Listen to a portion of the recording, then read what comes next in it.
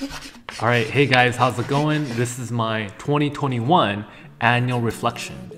Okay, so this has been a pretty great year. Uh, I'd say it's uh, strong, stable, uh, everyone's happy and healthy. Um, I mean, was it the best year? I mean, no. I mean, the coronavirus is still going on and everything. It's been a tough year for everyone, but hey, you know, let's uh, do what we can. Um, okay, let's talk about Outschool. All right, I think I'm getting better at teaching. When I started to get a little bit more students, one of my problems was if I had like a rowdy kid in the class. I don't really have the training to deal with that, you know? It's like I'm good at art, but let's say a kid comes into the class or disruptive and everything. Um, I gradually learn how to you know, command attention, set expectations, and attract a certain type of parent and student in my classroom. Uh, this meant just a little bit of marketing, showing that I'm here for more serious kids, serious artists. Um, instead of the previous year, it used to be just about like, hey, kids who are casually into art, I'll take everyone.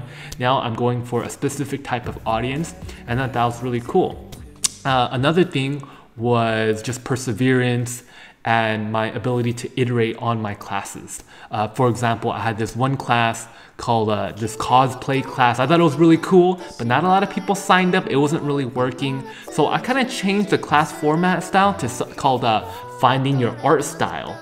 And now it's basically still the same thing, but the, I marketed it differently and now it's one of my most popular classes, you know?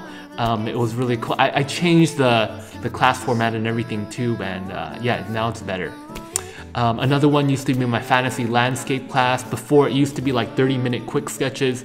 Now it's like a longer one and a half hour format. Uh, changed it based on um, parent request, parent feedback, and uh, yeah, it's, it's much better. Also, this Dungeons and Dragons class used to be like barely any students. It wasn't really gratifying for the students or the teacher, and now it's one of my favorite classes to teach. It also has one of my highest retention rates.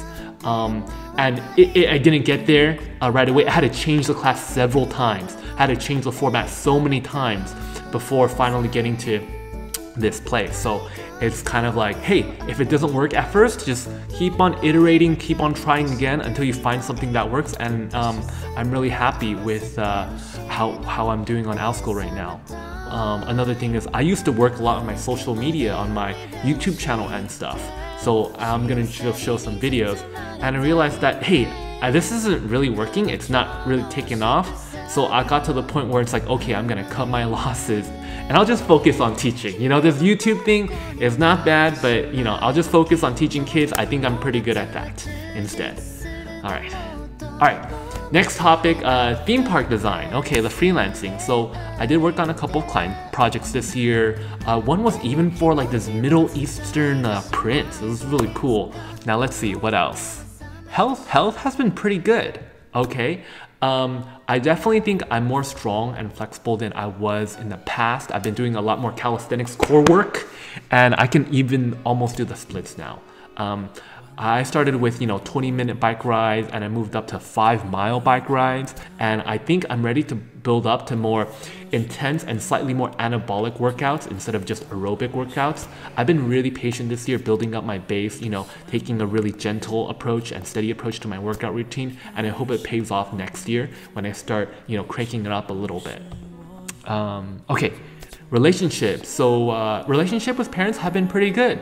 Um, it's definitely something I struggled in the past, especially last year. Uh, this year, you know, spending a lot of time with family.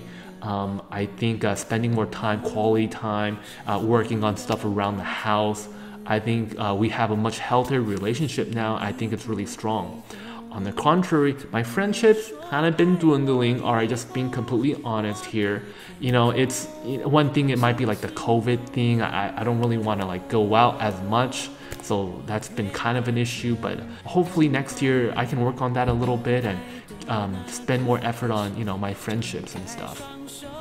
Um, let me see. Etsy, yeah, let's talk about Etsy a little bit. Um, I think it's doing really good. I'm I like doing paintings, you know, and stuff. In November, December, my student enrollments do go down a little bit because of like winter break and everything. But Etsy's right there to pick that back up. Um, with like the Christmas rush. So it's a really nice compatible. It's really compatible with my teaching schedule, you know.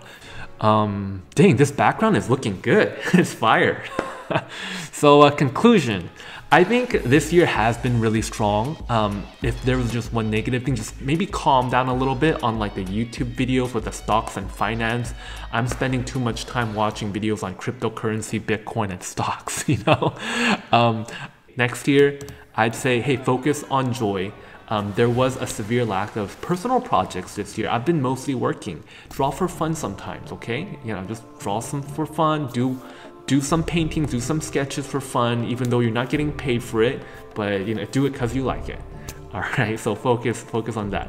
Number two, focus on helping people. I think I'm naturally inclined to want to help people. When I'm helping someone, I feel energized. I feel uh, feel very empowered, and I think it's I think it's naturally who I am. So I want to focus that uh, on it a little bit more. And, and focus on friendships. Number three, friendships. Work on your friendships a little bit more. Uh, take some time to cultivate that. Okay? All right, that's it for 2021. Uh, see you guys in 2022. Bye.